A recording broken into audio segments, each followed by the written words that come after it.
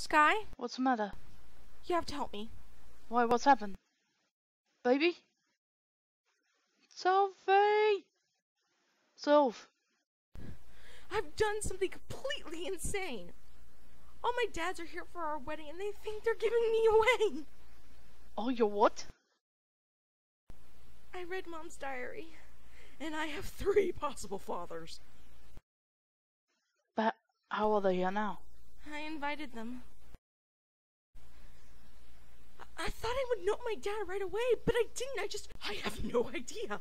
And now my mom's gonna kill me, and now they're gonna hate me. Wait, hold on, hold on. You? You invited these guys and you didn't tell me. No, I, I thought you would try to stop me. I know I messed up. Sophie. Is that what this whole big white wedding is about? You finding your dad? No! No! I wanted to take a boat to the mainland with a couple of witnesses and you insisted on this salting circus so you can play happy family. It is not about who I am and wanting to get married knowing who I am. That doesn't come from finding your father.